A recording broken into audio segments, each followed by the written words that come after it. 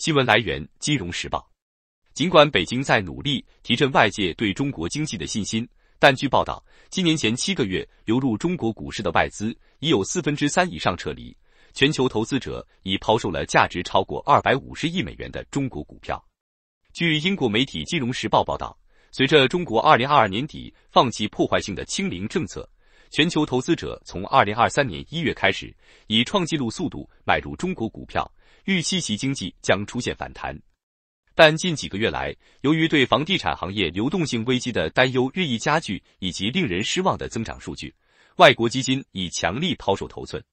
大幅抛售使得离岸投资者的净买入量有可能创下自二零一五年以来的最低年度总额。据《金融时报》估计，自北京当局承诺提供更为实质性的经济政策支持，八月外资在中国股市高峰达人民币两千三百五十亿，约美元三百二十六亿。但目前仅为人民币五百四十七亿元，约美元七十七亿。交易员和分析师表示，由于中国领导人缺乏强有力的政策支持，全球机构投资者推迟了购买。香港一家投行交易部门的负责人表示，现在日本、印度、韩国、台湾都火了，投资者现在的想法是，我不需要在中国，如果我在中国，我的投资组合就会受到阻碍。